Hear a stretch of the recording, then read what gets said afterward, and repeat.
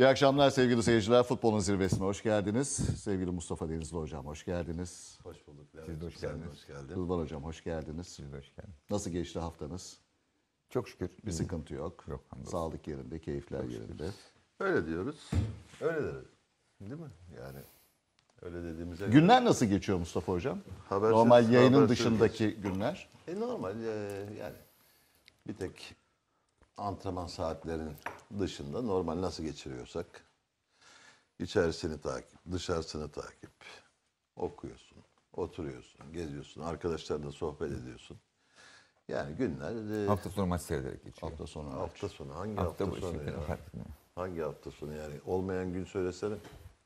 Yani birincilik, Süper Lig, İspanya'sı, İngiltere'si, Fransa'sı. Brezilya dahil. Yani mesela e, 90 dakika bazında baktığınız zaman bir hafta içinde seyrettiğiniz maç sayısı Süper Lig'de örneğin e, Galatasaray, Fener, Beşiktaş, Trabzon'u, Başakşehir'i bir şekilde seyrediyorsunuz. Şimdi- Diğer maçlara yetişebiliyor musunuz? Şimdi şey yoksa, e, Cuma, Pazartesi yayınları yoksa asgari dört maçı ana maç olarak izliyorsunuz. izliyoruz. Onun dışındakileri bölüm bölüm ya e, program öncesi ya da bazılarını programın içinde yani e, kısa değerlendirme yaptığımız maçlarla ilgili. Onun dışında e, bütün yani saatleri uyduğu müddetçe bütün maçları izlemeye çalışıyoruz. TFF 1. Lig'e girebiliyor musunuz? Giriyoruz. Oradan İspanya, La Liga, Giriyoruz onun Lig- saatlerinde çünkü e, biraz farklılık olduğu için onu da izleme fırsatı oluyor. Rıdvan Hocam sizde? Aynen, aynen. Aynen değil mi? Aynen. Yani o kadar yayın var ki bazen pozisyonları bile karıştırıyorsun. O maçta mı oldu, bu maçta mı oldu diye. Ya hakikaten çok. Doğru. 20 tane maç var bir günde. Doğru. İnanılmaz bir gündem var tabii e, Şu futbolda. gündeme Ben gelmeden ben bir gündem yaratayım istiyorsan. nasıl hocam? Şu gündeme girmeden bir gündem yaratayım ben sana. Hocam sizin Yok, yok. gündem yaratmadığınız bir program de. var mı? Ha, stüdyomuz değişti. E, bu e, masamızı Burası bu haftalık böyle dışarıya oldu. yakın yalnız ha. Bunun devamı da sokak yalnız ha. Gitmeyelim dışarı arada. Yok yok. Şimdi Yusuf var ya Bu arkadaşımız. aydınlık Yusuf, yarattı biraz. hocamın fıkrasını hatırlattı bana. Hocam dedi bir stüdyo yaptık diyor şimdi. Hani eski stüdyodan daha iyi. ya.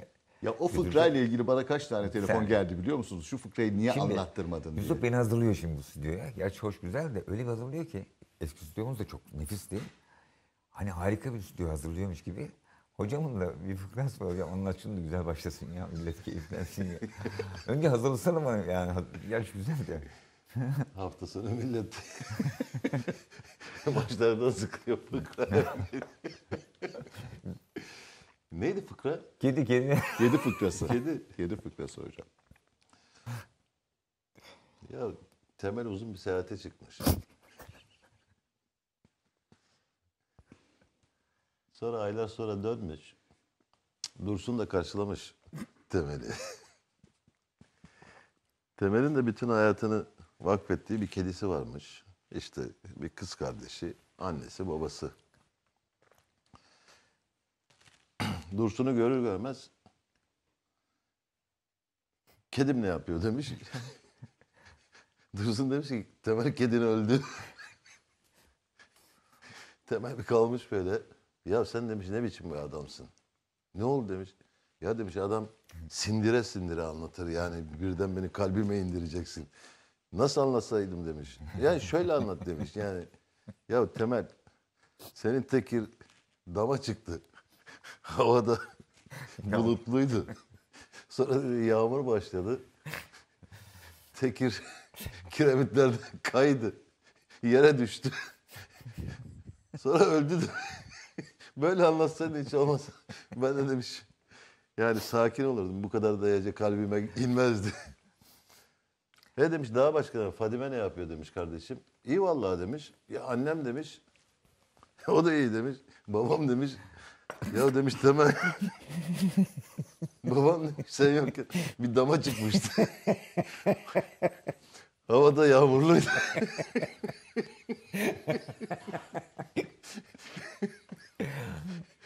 tamam bunu.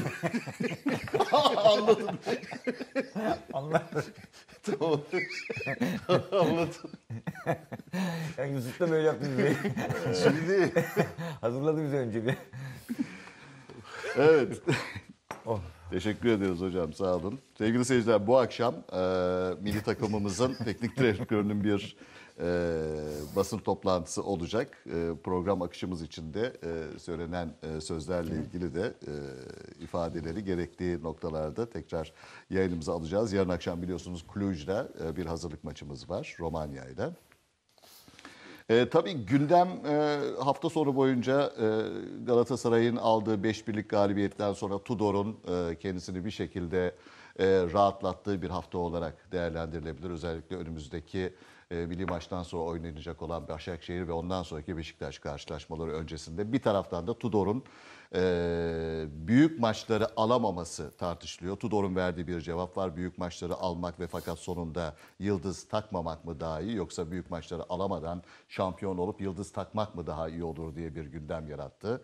E, enteresan bir çıkışı vardı. Aykut Hoca'nın gidip gitmeyeceği ve kendisinin yaptığı bir birlik Osmanlı Spor beraberliğinden sonra açıklamanın ardından çok fazla gündeme geldi. Gereken şeyi e, yapacağım dedi. E, arkasından e, Fenerbahçe e, toplandı ve kendisiyle devam ettiğini söyledi ve Aykut Hoca'nın bu gereken şeyleri yapacağımın anlamının e, bazı futbolcuların kadro dışı kalabileceği konusunda yorumlanması gerektiği ifade edildi. Cenk'in yine transferi e, söz konusu. Jinyak'la yer değiştirecek mi? Bu konuşuluyor. E, Rıdvan Hoca'nın e, yüz yüze futbolda yapmış olduğu bir açıklamanın ardından bir... Futbolda Yüzde yüz futbolda onlar karıştı. Er- Erdoğan'ın yok çakma olur mu hocam o da ayrı bir isim. orada yapmış olduğu bir açıklamanın ardından e, sosyal medyadaki e, çok fazla eleştirilerin gelmesi üzerine Rıdvan Hoca tekrar e, kırmızı çizgiye bağlandınız değil mi hocam? Oraya bağlandıktan sonra tekrar konuyla ilgili bir Galatasaray ile ilgili açıklamasını yaptı. Bu konuda bu akşam eğer arzu ederse yine açıklama yapabilir. Derken Başakşehir'in e, oynadığı e, futbol ve UEFA Avrupa Ligi'ne yine bir revizyon yaparak, rotasyon yaparak takımı Abdullah Hoca'nın çıkartması yine çok fazla tartışıldı. Derken Beşiktaş e, galibiyetle kapattı. Kayseri Trabzon maçının beraberliği. Böyle bir haftayı geride e, bıraktık. Bu arada yine yabancı e, sınırlama ko- konusu gündeme geldi. Bu konuyla ilgili olarak hem Lucescu'nun La Gazzetta della Sport'a vermiş olduğu açıklamalar var. Arkasından Başkan Vekili Ali Dürüst'ün yapmış olduğu bir açıklama var. Artı arkasından e, Galatasaray Kulübü Başkanı'nın e, Galatasaray'ı temsilen ayrı bir değerlendirmesi var. Yerli futbolcularla ilgili bir tavan belirleyelim bu sınırlama kalksın ama bir de tavan olsun rakam konusunda. Bir değerlendirme e, yapıldı. Yani dolu bir gündem. E, parça parça gidelim. Hemen tabii Rıdvan Hoca'ya e, dönmek istiyorum. Aykut Kocaman e, konusuyla ilgili söylemek istediğiniz nelerdir? Hocanın bu çıkışı biraz erken mi oldu? Gerekeni yapacağım e, çıkışı erken mi oldu? E, çok ciddi eleştiriler geldi. E, hoca bıraktı dediler. Bazı spor yazarları sert çıkışlar yaparak e, hoca asla bırakamaz ancak e, Fenerbahçe Kulübü Başkanı tarafından gönderilir şeklinde bir ifade kullanıldı ve salı akşamı, pazartesi akşamı da hoca tekrar e, antrenmana çıktı ve bu açıklamasının da dün akşam affedersiniz salı akşamı ve e, bu açıklamasının da e, futbolcuların geleceğiyle ilgili ve kadro yapılanması ile ilgili yapılmış olan bir açıklama olarak değerlendirilmesi gerektiği söylendi. Ben e, öncelikle şunu söyleyeyim. Sen karıştırdığın için yüzde yüz futbolu, yüz yüze futbolu. O yüzden pek de beğenmedim yüz yüze futbolu da. Ama yorumcularını ve tabii moderatörünü seviyorum. Ömer abi özel bir e, futbol adamıdır. Yani onu her zaman da e, saydığım bir insandır. Programın içeriği için asla öyle bir espri yapmadım. Tabii tabii tabii. tabii. Şimdi Aykut Kocaman konusuna gelince ben bildiklerimi anlatayım da en azından insanlar da hiç olmazsa e, farklı yorum yapmaz. Dün Aziz Bey'le biz seyahate çıktık başkanla. Gitmemiz gereken bir yer vardı. Yolda sordum açıkçası. Ne sorduysa da burada anlatacağım. Ya ne oldu bu Aykut Hoca meselesi? Vallahi dedi ben senin kadar biliyorum dedi. Evet dedi yalan konuşmaz. Allah Allah nasıl dedim. Hiç konuşmadım mı dedi. Maçtan sonra konuşmadım. Diğer gün konuşmadım. Bir tek dün salıydı. Pazartesi akşamı Ali Yıldırım'la telefonla konuşuyordu. Ben aldım. Aykut canını sıkma dedim dedi. O da "E, bir an moralim bozuktu orada hani. Demiş 10 saniyelik bir konuşma. Onun dışında Aziz Bey'le Aykut Kocaman arasındaki tek konuşma. 10 saniyelik bu telefon konuşması. Ali Bey'le Aykut Kocaman görüştü. Yani telefonları kapatmış herhalde. O anda artık takımda kötü gidince bir sorumluluk üstlenip açıkçası hiç sağdan soldan gitmeyelim. Benim algıladığım istifa etmeye karar verdiydi o açıklama. Gereğini yapacağım demek bence böyle. Hatta ben de o akşam programda birilerinin bir şeyler yapması gerektiğini söylerken bir sürü şık söylerken kendi adıma son bir şıkkı da biraz daha sakin kalınca şu andaki uygulama olarak geldi. Ben de kimseyle görüşmedim. Hep kendi fikrimi söyledim. Bir altı haftalık periyot var. Ki Aziz Bey öyle düşünmüyor. Onu söyleyeyim. Yani sezon sonuna kadar zaten kontratı var. Bizim problemimiz yok diye söylüyor sohbet sırasında. Benim fikrimde 6 hafta sonra durumda eğer bir gelişme varsa yoksa zaten Aykut Hoca'nın bu kez e, gerçekten gereğini değil de istifa edeceğini düşünüyorum. Bu tamamen şahsi fikrim. Diğerleri de duyum. Yani yazıldı, o bunu kavga etmiş, bu buna demiş. Asla öyle şey. Ben Aykut Hoca'yı da tanıdığım için çok üzüldü herhalde. Ben de dahil hiç kimseyle, ben de aramadım zaten de. Aziz Bey de aramamış. O da Aziz Bey'i aramamış. Ali Bey en son pazartesi akşamı konuşunca da yanında Aziz Bey'i uzatınca bu 10 saniyelik konuşma oluyor. Ondan sonra hiçbir şey olmamış gibi şu anda fakat tabii kamuoyunu haklı olarak bu konuyla ilgili haklı olarak ama medyadaki insanlar, taraftar falan da Allah Allah ne oluyor dediler. Enteresan tarafı Allah Allah ne oluyor Aziz Bey de ölüyormuş zaten. Ama yok o tazminat varmış o kadar kadro dışı falan filan. Hatta bugün de gördüm kaptanlık değişiyormuş falan diye. Ben de hani programımıza katkıda olsun diye sordum aradım başkan var mı böyle bir şey? Yok dedi hiç şey yok dedi. Kadro dışı bilmem işte ne o. Yani Aziz Bey'in dışında maptan. herkes e, endişe etmiş ama Aziz Bey'in e, endişesi yok gibi görünüyor sizin bu anlattıklarınızda. Ne kadar biliyorsam ben de o kadar biliyorum. bana. Peki Aziz Bey e, acaba bu sezonu karşılıklı... Hatta, hatta çok özür dilerim. Dönüş uçağına bindiğimizde biz ben özürlüyüm de başkan benden daha özürlü bu sosyal medya konusunda. Böyle baktım bir haberde böyle bakarken açamıyorum bir türlü haberi. Kadro dışılar yazıyor. Aziz Bey dedi ki bak bakayım ya kim kadro bizde dedi. Vallahi hostes hanıma dedim ki ya hanımefendi biz bunu açamıyoruz bir yardımcı olur musun dedim. Hanımefendi geldi sağ olsun. Havada mı Baktı kullanıyorsunuz telefonu? Yok, Daha kalkmadık. Daha kalkmadık. Merak etme hocam. Baktık Şikertel var başta. Sonra ikinci sıraya baktık. işte Mehmet Topal var. Ve beş kişi yazıyor. Allah Allah dedi. Yani tuhaf bir durum gerçekten değil mi? Evet biraz tuhaf. tabii. Aynen böyle yaşadım yani. benim. Evet. Aziz Bey e, öyle karşılıklı anladığım kadarıyla sabah birlikte gittiniz. E, gittiğiniz yerde birlikteydiniz. Dönüşte de birlikte döndünüz. Bayağı bir sohbet etme imkanı bulmuşsunuzdur. Aziz Bey bu sezonu gözden çıkartmış havası var mı Hayır hocam? kesinlikle yok. O e, hiç kimse çıkarmaz zaten. Ben burada sözcülük de yapmıyorum ama bilgi o- olduğum için özel şeyleri zaten konuşmam mümkün değil. Çok da özel bir şey konuşmadı açıkçası. Aziz Bey bu 6 haftanın çok önemli olduğunu, 6 hafta içerisinde puan farkını 4'e 5'e 3'e civarında düşünürsek 3 oyuncuyla birlikte şampiyonluk yarışında olacağınızı düşünüyor. Olacağını düşünüyor Fenerbahçe Spor Kulübü'nün. Bu kadar aramızdaki konuşma. Evet. Hocam var mı bir değerlendirmeniz? Çünkü Neyle ilgili? Ha şöyle e, gitme durumuyla ilgili olarak da Aykut Hoca'nın bir dolu isimler de e, boştaki teknik direktörler olarak bu isimlerden biri olarak sizin de isminiz geçti. Yani neyle ilgili derken en azından e, bu kısmı ile ilgili bir şey belki söylemek istersiniz. Bu söylediğini ben görmedim. Var mı yok mu bilmiyorum yani. Nerede çıktı? İsmi Şimdi- geçti, Ümit Özat geçti, Ersun Yanal geçti, şurada- isminiz geçti, Yılmaz Vural. Hadise yani şimdi Rıdvan e, bir takım şeyleri anlattı. Bir kısmı da özel herhalde bir kısmı da söylemez. Yani onlar çok özel şeyler. Gayet. Şimdi benim orada tuhafıma giden şu. Şimdi Aykut Hoca'nın psikolojisinin son derece bozuk olduğunu gördüm ki doğaldır yani böyle oynanan oyunlardan sonra böyle kaybedilen puanlardan sonra bir teknik adamın bu ruh haline girmesi e, doğaldır, normaldir. Hepimizin yaşadığı şeyler. Orada e, belki acele hareket etti. Yani tam düşüncelerini yansıtacak kelimeleri bulamadı. Çünkü bir hafta, iki hafta evvel liderle arasındaki puan farkı 8 iken Aykut Hoca bunun kapanacağını ve şampiyon- suni bir açıklık olduğunu söyledi. oldu. Şey maçından sonra, Osmanlı maçından sonra çok fazla değişen bir şey yok. Yani bunları söyledikten sonra böyle bir ruh haline kapılıp gereğini yapacağım, ortada bir başarısızlık var, gereğini yapacağım dediğinin arasından iki hafta geçti. Dolayısıyla biraz e, acele etti. Psikolojisi bozulmuş olabilir. Beklentileri karşılanmamış olabilir. Yani e, biraz daha sabırlı olabilirdi. Hiç konuşmayıp yani e, muhtemelen Ankara'da da uzun süre görev yaptı. Dostları vardır, arkadaşları vardır. Hatta işi de olabilir. Zaten arada bir boşluk var. Yani İstanbul'a da dönse birkaç gün izin verebilir takımına. Vermiştir de bir Ki öyle oldu. Öyle Yalnız olmuştu. enteresan e, hocam çok tecrübeli insan tabii.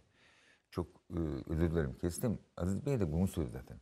Pek söyledi hatırladım şimdi konuşurken. Ya keşke dedi hani gelseydi de işte izinden sonra oturup da birlikte konuşsaydık anlamında söyledi. Aynısını söyledi. Şimdi e, bu çıkışı yapınca milletin algıladığı mesaj oradan ben devam etmeyeceğim. İkincisi takımla birlikte. Kimse bilmiyor ne olduğunu. Şimdi yani Aykut Hoca tecrübesiz bir hoca değil.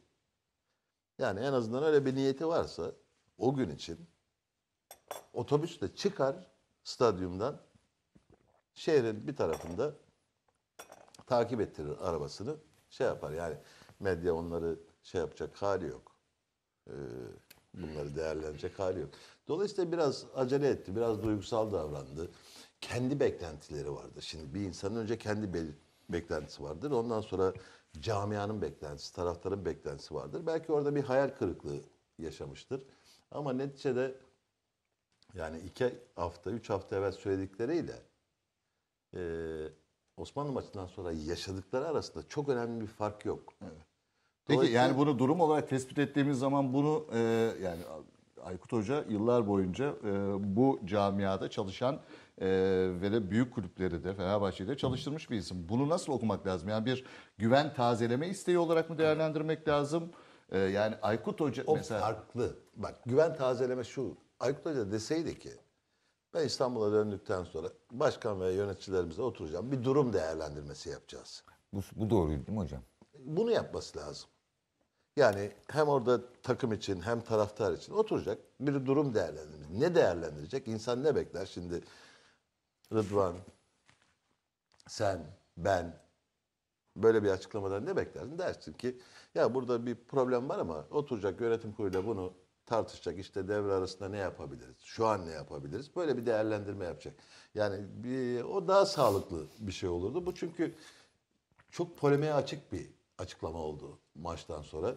Peki bu e, birilerinin yani bazı kesimlerin iddia ettiği gibi Aykut Hoca istifa edemez, Aykut Hoca ancak gönderilir tezini güçlendiren bir durum mudur şu anda? Şimdi Yaşanılan durum. Hayır değil. Yok Ee, öyle öyle değerlendirmek. Öyle diyenler var, Öyle değerlendirmek iki tarafa da haksızlık olur. Yani neticede gereğini yapacağım diyor. Ağırlıklı olarak istifa edeceğim diye algılanıyor. Halbuki direkt söyleyebilir. Yani istifa çift taraflı bir müessese değildir. İstifa tek taraflı bir müessesedir. Yani Aykut Kocaman, Rıdvan Dilmen, Levent Özçelik, Mustafa Denizli böyle bir kararı verdiyse kafasında bunu bitirdi. Bitmiştir o. Yani karşı tarafın ne düşündüğü, ne yaptığı Bu çok durumda herhalde şu anda Aykut Hoca'dan çünkü bir açıklama gelmedi. Kendisinden bir açıklama e, herkes bekliyor sanıyorum. Bu gereğini yapacağım ifadesinin anlamını yani en azından gereğini kendi yapacağım tarafından bir ne, belki arkasında farklı bir şey vardı. Yani bu Yani takımın yönetimde içinde bu Bence, dememiştir bence, herhalde. bence kesinlikle bırakmaya karar vermişti oraya oturduğunda. E şimdi yani e, e, biraz saf olmak lazım yani başka bir şey söylemek için. Öyle ama dönüşü olmayan bir şey mi? Dönüşü olan bir Nitekim de açıklama. E, dönüldü. Ya insanların psikolojisi bazen Olabilir Yani diyorsun. düşündüklerinden e, beyninde başka bir şey vardır. Ağzından Peki bak- sizce gereğini yapmalı mıydı? yap gereğinden istifayı kastediyorsan yapmamalıydı. Sizce hocam? Anlayamadım. Gereğini. Gereğini yapmalı mıydı? O günkü ruh haliyle söyledi ve inandığı... Yani istifa etmeli miydi O diyor. Ben anda, etmemeliydi. o anda Fenerbahçeli duygusuyla bakarsam hepsi birden etmeli dedim. Ama biraz sakinleştiğim zaman daha olgun ve daha profesyonel baktığım zaman etmemeliydi. En azından e, birlikte olup tekrar. Fakat şu var, şu var yalnız. En büyük riski kendi aldı. Örneğin Sivas maçı beraber bittiği anda. Ya zor iş o zaman yani. Öyle bir hem kulübe sorumluluk bıraktık ki hem kendisine. 6 hafta Aykut Hoca 6 maçta bir 10, 15, 16 puan falan alırsa bu yarışta ve ikinci yarı devam eder. Ama almadığı anda hocam bence ilk böyle şeyde sıkıntı olur diye düşünüyorum. Bu şahsi fikrim, Anladım. tecrübem. Ha, hocam ama o işte ilkinde sıkıntı olur diye diyor. O çok ilkleri çok geride bıraktı hep. hep Yok yok bu saatten sonra bu, görüş, bu konuşmayı yaptıktan sonra, sonra, diyorsunuz. ayağını kendisi... Peki siz Van Persie ile ilgili yaptığınız konuşmalardan sonra Van Persie'nin durumuyla ilgili bir değişiklik oldu mu? Hafta sonu çünkü siz Yo, ben e, yönlendirici bir insan değilim. Hayır, hayır, söylüyorum. Şu anda da ama çok şiddetli, sert bir açıklama Tabii. yaptınız. Öf, ben yani Van aynı Persie'ye özel bir parantez açtınız. Belki izleyicilerimiz o programı e, izlememiş olabilirler, gözlerinden kaçmış olabilir ama e, kamuoyu e, çok dikkatle izliyor özellikle Fenerbahçe'nin aldığı e, sonuçlardan sonra sizin yapacağınız yorumu. Van Persie ile Aynı ilgili fikirdeyim. Evet, Çünkü- bir çekirdek çitleme pozisyonundan Çekirdek başladınız derken ve biraz Aynen abartı yani. olabilir ama Evet, sonuçta e, Fenerbahçe'ye ait hissetmiyor kendini. Ama sakatlıktan ama şundan bundan. O büyük bir formaya ha- sahip hissetmeyen insan da kendini de parasını vermek zorundasınız. Gerekirse verirsiniz. Fenerbahçe bu kadar hani eğlence şey gibi, sağlıklı spora gelmiş gibi. E, o da diğer oyuncuları etkiler diye düşünüyorum. Yine aynı fikirdeyim. Ee, bir kadro dışı Mehmet Topal'la ilgili bildiğiniz bir Yok, hiç konu var mı? yok. Aziz Bey Mehmet Topal'la ilgili çünkü Hiçbir yorum hiçbir yorum Hiçbir yapmadım. yorum, Sizin de bildiğiniz bir Hiçbir şey. yorum yapın. Sadece e, profesyonel futbol takımının bugün itibariyle hiç kimsenin para olarak da alacağı maç başı prim dahil olmak üzere peşinatlarıyla hepsini ödemişler. Onu biliyorum. Onu söyledi sadece. E zaten ödemeleri lazım çünkü biliyorsunuz yeni de bir kural Yeni geldi. İkinci. Bosman kuralları. Sen, iki Türkiye- ay sen ödemezsen. Tür- Türkiye'de yüzde sekseni ödemiyordur biliyorsunuz değil mi? Bence Türkiye'de. bundan sonra da ödemeyecek hocam. Yani Onu onu, onu da konuşuruz ayrıca. Çünkü e, direnebilecek futbolcu sayısı ne kadar onu e, tartışırız. Peki Fenerbahçe'yi önümüz konuştum, görüşüm en sonunda bırakmıştım. Konuştum zaten. Görüşümü söyledim Aykut Hoca ile ilgili ama e, bilgimi söylemek zorunda değilim. Hissettim. Burada e, son bir soru. Yine hocanın böyle e, oransal yaklaşımları vardır teknik direktör ve futbolcular açısından. Son durum tespiti olarak e, Fenerbahçe'nin bulunduğu noktaya baktığımız zaman bir yüzde vermek gerekirse yönetim, e, burada tarafları bir kenara koyuyoruz. Yönetim, e, teknik direktör ve de futbolcu bazında baktığımız zaman bir yüzlük pay üzerinden şu anki durumu e, hangi grup ön planda üstlenmesi gerekir olumsuz durumu hocam? Bak Levent bu grupların herhangi birini birbirinden ayırt, ayırt etmeye kalktığın zaman orada bir bütünlükten bahsedemezsin. O zaman yüzde 33 33 33 mü diyorsunuz? Eğer varsa öyle bir şey odur. Yani bu paylaşımcıdır. Başarıda da başarısızlıkta da. Şimdi benim dışarıdan gördüğüm yani konuşuyoruz da hatta ilk programdan daha e, başladık konuşma. Fenerbahçe Fenerbahçe çizgisinin altında kalitede futbolcular transfer etti. Bunu kim yaptı, nasıl yaptı, nasıl bu kararı verdi ama gelenlerin içerisinde yani e, oyundan çıkışı dahi polemik konusu yapılan Valbuena'nın dışında yani ha bu transfer geldi, takımın rengini değiştirdi, işte atakta bunları yapıyor, defansta bunları yapıyor. Böyle bir şey olmadı Fenerbahçe'nin. Fenerbahçe'nin şanssızlığı burada. Yani şanssızlık olarak bakacaksak burada. Kendini öne taşıyacak, oyunu güzelleştirip, çabuklaştırıp skora çevirecek futbolcuyu transfer edemedi Fenerbahçe. Aldığı sonuçlardan da belli. Ha bunlar peki bu çizgide miydi? Belki kendi çizgilerinde bulamadılar hala. Ya bulamayan futbolcular var. Diğer takımlarda da var. Yani her takımın yaptığı transferlerin hepsi şu anda oynamıyor zaten. Bir kısmı e, kulübede oturuyor. Bir kısmı oyuna dahi girmiyor. Fenerbahçe ısrarla bunlardan. Ama gözüktü ki yani ne Isla, ne önünde oynayan Dirar, ne gelen Yansen veya işte Giuliano ve e, fazla Soldado. şey yapmayan Soldado. Ya bunlar bazıları kendilerini kanıtlamış futbolcular. Ama şimdi Isla, Dirar ve e, Giuliano beklentilerin çok altında kaldı. Şimdi bir, takımın yüzde otuzu olarak sahaya çıkıyor bunlar. Öyle değil mi? Yani Yansen'i bunların arasına koymuyoruz dahi. Onu da koyarsan yüzde kırk. Yani yarıya yakını eğer bekleneni veremiyorsa transferlerden yani burada bir terslik var. Bir yanlışlık var. Yani ben şimdi Galatasaray transferleri yaptı. Bakıyorsun dört tane beş tane oynayan futbolcudan asgari dört tanesi şeyde ön planda. Yani takım başarılı gidiyorsa, lider oluyorsa aldıkları e, bu futbolculardan bu randıman. En fazla Galatasaray'da kimi tutuyorsunuz hocam? Ben- Kimisi Fernando diyor, kimisi Mariano diyor, ben kimisi Gomis diyor. Siz yani Mariano. oynadığı bölge ve oyuna katkı itibariyle. Uzun yıllarda ihtiyaç doğru. Yani Rodriguez de iyi oynatmaya başladı tabii değil mi hocam? Şimdi yani Mariano burada değişmedi. Mariano gelmeden evvel geçen sene La Liga'nın onlara en iyi adamlarından biriydi. Yani bu e, var olan bir futbolcu varlığı devam ediyor. Belki Fenerbahçe'nin var olan çizgilerin çok altında şu anda. Ha, onun sebebi nedir onu bilemem ben. Yani dışarıdan bir şey ahkam kesmek çok doğru değil ama Fenerbahçe'nin bu başarısız çizgisinde bunların başrolde olduğunu söylemek mümkün.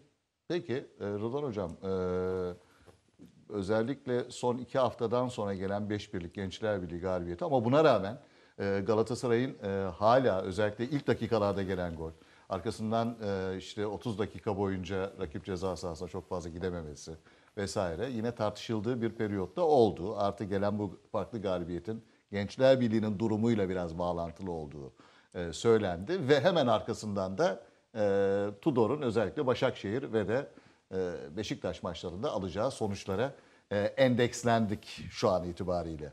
E, hocanın durumu sanki hala sallantıda gibi. O zaman saygısızlık olur ona. Şimdi son 13 yıla geçen gazete okudum. En başarılı pozisyonu da şu anda ligin 11. haftası itibariyle. Kendi açısından Galatasaray. Tabii tabii onunla ilgili e, hemen o istatistiki bilgiyi de e, paylaşalım. Tudorlu Galatasaray 11 hafta sonunda 26 puanla 13 sezon sonra en yüksek puan. 13 Evet. sezon önce Hacı 11 haftada da 28 puan toplamış. Evet. eee, sonuçta ligin ilk yarısının bitimine 6 hafta var. E, Galatasaray takımı da kötü oynamıyor. Kaybedebileceği puanları Fenerbahçe maçı beraberlik doğaldır. Trabzon'da maç kaybetmek de doğaldır. Ama kazanması gereken her maçı kazandı. O da başarılı olduğunu gösteriyor. Eee, ligin ilk yarısının sonunda 1 ile 2 arasında olacaktır. Ama tabii biraz önce Fenerbahçe ile ilgili konuşurken Fenerbahçe'nin bu işte olma- olması için Galatasaray, Beşiktaş ve Başakşehir arasında oynayacak maçlar ne kadar önemliyse ki mutlaka 3 takım da kendi aralarında oynadığı için puan kaybedecek. Fenerbahçe'nin zirve yarışında olması için 6 maçın 14 ile 18 puan arası alması lazım. Minimum. 14 alması lazım. O zaman ligin yarışında olur. Ama eee Galatasaray takımı da ligde alabildiği her puana bence özellikle oyunun belli bölümünde olsa iyi top oynayarak aldılar. Ama Başakşehir takımı da bugün mesela Başakşehir ve Beşiktaş deplasmanları Galatasaray için yani beraberlik kötü değildir. Çünkü diğer maçları kazandığı zaman zaten avantajını koruyacaktır. Ee, Bence Tudor'un fazlasıyla kredi sahibi olmuştur. Ee, Galatasaray'la ilgili şimdi ben mesela Fenerbahçe cephesine bakıyorum. Çok keskin çıkışları mesela Serdar Ali Çeliker yapıyor. Ee, Fenerbahçe ile ilgili. Galatasaray cephesine baktığım zaman Galatasaray'ın önemli isimlerinden birisi e, medyada. Fatih Altaylı'nın yaptığı çıkışlar var. Mesela bu maçla ilgili, Başakşehir maçıyla ilgili şöyle bir ifadesi var. Galatasaray kötü oynayarak farklı kazandı. Kötünün ötesinde yanlış oynayarak farklı kazandı. Başakşehir karşısında da tekrarlarsa orada Adebayor gibi adamlar var. Emre gibi uzaktan yakından vurabilen, etkili ortalar yapabilen adam var. Bu taktikte çıkarsa Başakşehir karşısında perişan olur. Geçen senenin tekrarını yaşarlar 4-0 olur. Başakşehir çok iyi bir takım. Organizasyon çok iyi bir takım. Ama maç öncesi yorumları ben herkese saygı duyuyorum ama e, çok zor maç olacağı da bence hem Vodafone'daki maç Beşiktaş maçı hem de Başakşehir stadı maçı Galatasaray'ın zor olacaktır. Ama Galatasaray takımı da kazanırsa aa nasıl kazandı diyemeyiz zaten. Burada hocam mesela e, Tudor'un bir e, psikolojik olarak bir baskı altında olduğunu e, söyleyebilir miyiz? Yani şimdi Trabzon maçlarına bakıyorsunuz. Galatasaray, Beşiktaş, Fenerbahçe sadece bir gol atmışsınız, Altı bir tane- puan almışsınız. tane maç var. 5 mağlubiyet, bir beraber. Yani hoca Yanlış aynı pozisyonu hoca gece yattığı zaman ya kardeşim liderim ama ben bir tarafta da herkesin merak ettiği maçlardan yani galibiyet çıkartamamışım diyor mudur kendi kendine? Ya, onu diyebilir. Ama neticede biraz evvel söylediği bir şey var. Senin okuduğun. Şampiyon olmak için derbileri kazanmak mecburiyeti yoktur. O doğru bir ifadedir. Yani neticede bir sezon başlar. Sezon sonunda hedefine vardın mı varmadın mı? O hedefe varırken kimleri yenmişsin, kimleri yenmemişsin. Sadece e, bir iki maç orada akılda kalabilir. Ona da kimse niye öyle oldu demez. Yani önemli olan orada şeydir, e, amaca ulaşmaktır. Bir de yıldız lafı var yani yıldız takmak lafı bir şampiyonluk yıldız getirmiyor zannediyorum. Daha bir yıldız takmak için birkaç şampiyonluğa tabii. ihtiyaç var. O da onlardan bir tanesi. Şu andaki görüntüsü yani zaten istatistik bilgiler de doğruluyor. Son 13 yılda en iyi ikinci sezon başlangıcı. Öyle değil mi? Yani bu iyi bir rakam. Trabzon maçını kaybetmesi bir sürpriz değil. Fenerbahçe'yle berabere kalması bir sürpriz değil. Şu olsaydı, ikisini de kazansaydı bugün yarış belki de artık Neredeyse devam bitmişti. etmiyordu. Yani şu anda Başakşehir'i kaybetmesi de sürpriz olmaz mı? olmaz. Siz krediyi verdiniz şimdiden yani. Sürpriz olmaz. Başakşehir'in Galatasaray'ı yenmesi sürpriz mi olur? Değil tabii ki. Yani ha Galatasaray Gençler Birliği maçındaki saha e, parselasyonuyla oynarsa çok sıkıntı çeker. Ya ben onu zaten e, maçtan sonra yazdım. Hem söyledim hem yazdım. Şimdi yani Gençler Birliği maçı farklı bir yere taşınmasın. Galatasaray iyi oynadı mı? İyi oynadı. Ama Galatasaray maçı ikinci yarının başında kopardı. Yani hala sıkıntılı bir dönem yaşayabilirdi. Galatasaray müthiş coşkuluydu. Coşkulu olmak şimdi bazen işte bizde atasözü gibi de yani eğri gemi doğru sefer. Bazen maçlarda e, yani istemediğin durumlarla karşılaşabilirsin. Gençler Birliği hiçbir Galatasaraylı'nın beklemediği şekilde çizgisinin gerisindeydi. Bu da doğaldı. E, Galatasaray golleri attıkça oyunda mutlak hakim oldu. Artık Gençler Birliği'nin yani direnci kalmadı. Galatasaray bunları hak ediyor mu? Hak ediyor. Ama çok mu iyi oynadı veya çok sağlıklı mı? Şimdi şey de yani üçlü savunma kime karşı oynanır? Bütün sistemler birbirinin alternatifi olarak doğmuştur. Üçlü savunmayı da 4-4-2 oynayan takımlara karşı e, bir karşı sistem olarak konmuştur. Yani ikili oynarsın önde. Şimdi Galatasaray Eren ve şeyle Gomis'le birlikte oynadı ama tam önde iki bizim bildiğimiz Klasik manada değil. klasik e, ikili olarak oynamadı. Orada parselasyonda bir sıkıntı vardı. Yani oyun 2-0'a gelinceye kadar Gomis ve Eren koşu yollarını bulamadılar. Yani bu zamanla ya ilk defa e, muhtemelen. Yani şimdi sezon- özellikle hocam e, tabii e, gerçi iki hafta var ama e, Başakşehir gibi hücumda genişliği sağlayabilen, kanatları iyi kullanabilen yani bir tarafta işte Visca diğer tarafta Elia gibi isimleri olan bir takım karşısında üçlü Yani savunma biraz sıkıntı da olabilir. Sıkıntı yaratır. Yani ikisi de son derece çabuk futbolcu ve topla iş yapabilen futbolcular. Peki futbolcu bazında bir soru sorayım size hocam. Feguili mi yoksa Rodriguez mi? Şimdi eğer Eren ve Gomis'le birlikte oynayacaksa ikisi de ekstradır. Sizce hocam? Şimdi ikisinin farklı özellikli oyuncular buna yalnız. Bunlar rakibe göre değerlendirilecek oyuncular. Bir set oynamak istiyorsunuz, Feguli ile oynayacaksınız. Çabuk kaleye gitmek istiyorsunuz, Rodriguez ile oynayacaksınız. Ben biraz önceki konu e, bana daha cezbetti. Hatırlarsan geçen sene futbol zirvesinde biz her hafta Tudor'u yedik. Ama başaramadık. E, yedik derken bireysel konuşursak ben, ben, kend- sordum yedim, siz yedim, yediniz hocam. yedim. Fakat iyi teknik direktörün altında veyahut da şeyin de arkasında iyi yönetimler vardır. Biraz sonra konuya geleceksin ama o konuyu ben örtbas etmek için söylemiyorum. Yok canım. Bu dünyanın gerçeğidir. Türkiye'nin de gerçeğidir. Örneğin çok başarılı bir Ancelotti, Bayern Münih yok dedi, ayrılacağız dedi. Aynı şekilde Fatih Hoca teknik direktörlüğün ilk yılında Galatasaray'da ilk 7-8 hafta çok ciddi eleştiriler alıyordu. Kötü gidiyordu takım. Hatta Ali Sami'nde 4-0'lık bir Fenerbahçe mağlubiyeti vardı. Do- 96'dan bahsediyorsunuz değil mi Evet ilk sezonda Galatasaray'ın. İlk sezon. Ancak Hatta sözünüzü kestim. Ee, Bir Gençler Birliği mağlubiyetinden sonra e, istifa noktasına geldi Hiç ve. Faruk Süren arkasında Evet. durdu. Şimdi Faruk Bey arkasında dururken hocaya da güvendi tabii. Bir şeyler görüyordu demek ki. Rahmetli Yavuz Gökmen falan vardı. Yazarlardı böyle falan. Ama sonuçta o güveni vermiş hoca. O güveni de duymuş. Ve pat pat pat Fatih Terim'in aslında başarı statü oradadır. Tabii ki Ankara'cı, Göztepe falan çalışmıştır milli takımlarda ama şimdi Tudor'la ilgili de sezon sonu Galatasaray'ın yollara ayrılması için birçok sebep vardı hocayla. Yerle bir olmuş bir takım. Puan olarak aldığından daha kötüye gitmiş. Yetmemiş. Bir de Avrupa Şampiyonası'nda elenmiş bir hadi başladık. Ama yine de yönetim kaldığı için arkasında o da başarılı da geldi. İyi de transfer geldi. Şimdi şöyle yapalım. Aykut Hoca'nın dedi ki ne diyor "E, gereğini yapacağım. E, peki dedi. İstifa anladım dedi ki anlayabilir. Şimdi diyelim son 6 hafta 15-18 aldı. Ligde devam etti. Şimdi Fenerbahçe Kulübü yönetimi mi başarılı?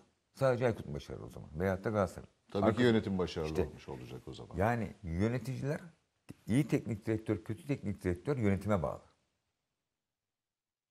Ben öyle diyorum. Anladım. da. Yani altı maçın üçünü de kaybetse devam etmeli. Anladım.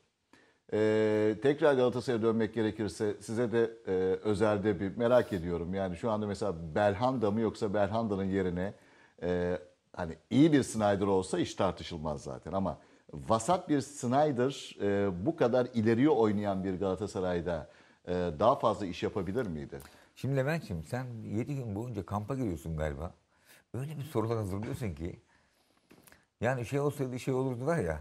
Yok Snyder yok artık yani. Mesela yani. Olsaydı mı olsaydı geçti geride kaldı o. Biz Belhanda mı? Belhanda'nın alternatif bir oyuncudan konuşalım Galatasaray. Şimdi Belhanda'nın orada- ölüsü ondan iyi demek. Yok yok yok o anlamda söylemiyorum yani ama Galatasaray taraftar bunu bir şekilde Yo, konuşur, Yok, merak konuşmuyor eder. ya, konuşmuyor. Şu anda Ben- biraz da öğrendi mutsuzmuş Nice'te. Schneider O da var.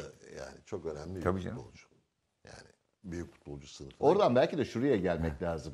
Ee, Snyder'ın yapabileceklerini Belhanda'nın yapması lazım Ben anlamında. Snyder mi iyi futbolcu, Be- Belhanda mı dersen Snyder daha iyi futbolcu. Ama performansına bakacağız. Galatasaray'da çok verimli oldu. Son yılında da düşüş vardı. Ya ayrıldılar belki ekonomik olarak ama 25 yaşında iki tane Snyder'la Belhanda'yı getir ki Belhanda yetenekli bir oyuncu Snyder alırsın yani.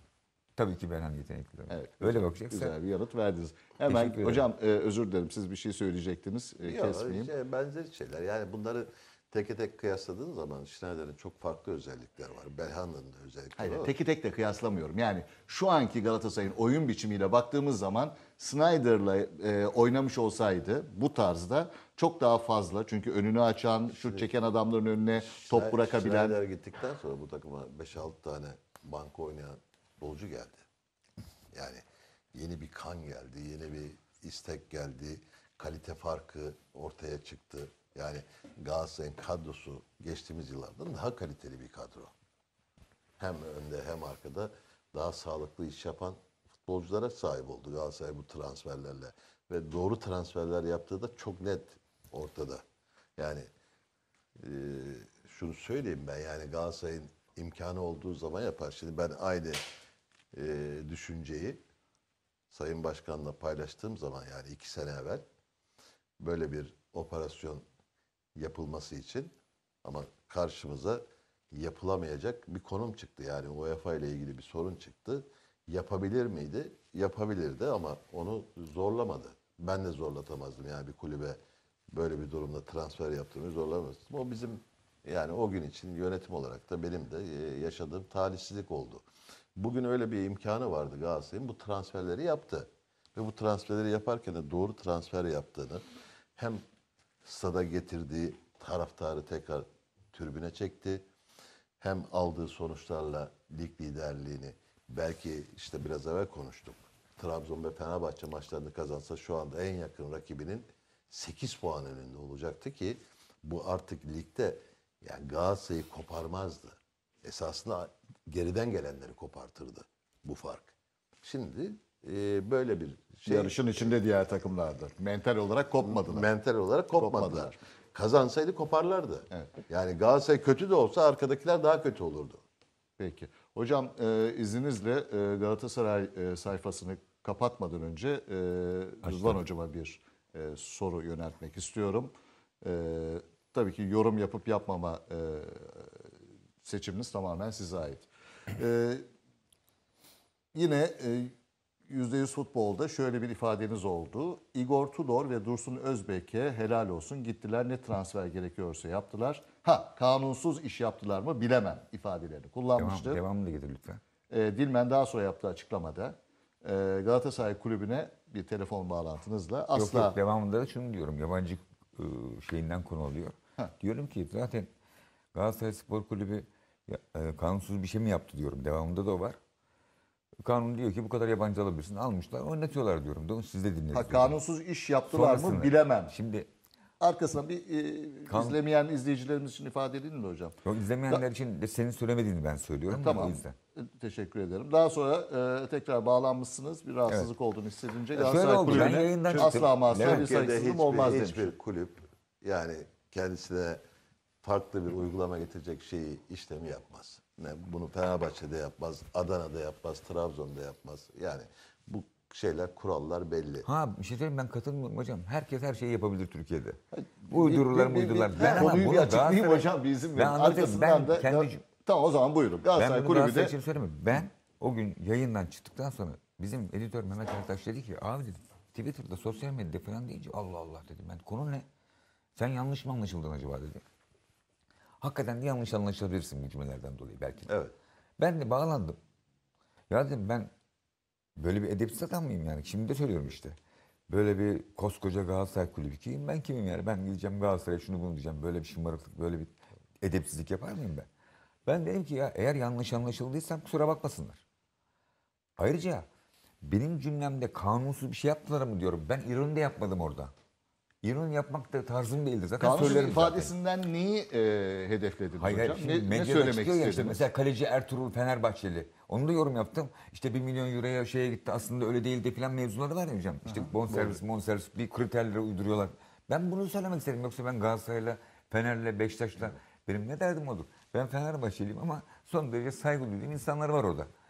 E, Mahkemeye... Galatasaray'da olabilir. Hayır hayır mahke... Profesyonellik hayatta Galatasaray'da canım. olabilir. Hani mahkemeye verilecek bir durum yok da verirlerse de ona da saygı duyarım. Gideriz adliye e, deme şeyimizi veririz. Ancak ancak Ancak. ancak, e, ben tabii ucuz polemik konusu yapmak istemiyorum. Koskoca Galatasaray kulübüyle ben saygısızlık yapmak istiyorum. Ancak şu var e, millet belden aşağı gidiyor gidiyor gidiyor. Tek kelime gitmiyor hocam bu Türkiye'de. Enteresan bir şey. Ben sağ olsunlar değerli görmüşler demek ki bizim görüşlerimizi. Ancak İki hafta önce ben Dursun Bey'i aradım. Kendi resmi internet sitelerinde terör örgütünün bir amblemi vardı. Öyle algılanan. Öyle algılanan ama. Öyle algı. Onu bir defa da altını Ha, çizelim. öyle Öyle, algılanan. algılanan Evet, hani bir amblem var. Algılanabilir. an- ve öyle yayılmaya başlandı. Ben de hemen Dursun Bey'i aradım. Açmayınca mesaj attım. Sayın Başkanım beni arar mısınız diye. Dursun Bey de beni aradı. Dedim başkanım bakın dedim bu sizin sitede tuhaf bir durum var. Alakası bir durum var. Sizi zor durumda bırakırlar dedim.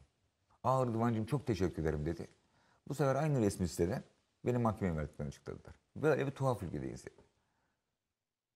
Ben bu saygısızlığı yapacak bir adam mıyım ben? Önce Dursun Bey'i ben aradım.